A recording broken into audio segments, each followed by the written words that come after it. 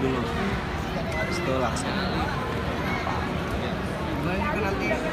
Senang banget kayak harus apalagi ntar ada grup satu, grup dua, grup tiga gitu ya kita rame-rame gitu kayak anak sekolah yang baru. Yang harus grup gitu kan. Tapi senang banget gitu. Eh, seru-seruan gitu kali ya semoga berjalan lancar.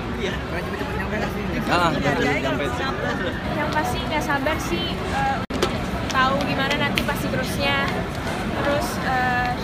banyak eh, fasilitas juga dan banyak permainan atau enggak ya banyak staff yang kita bakal lakuin di sana kan. Jadi nggak sabar untuk itu.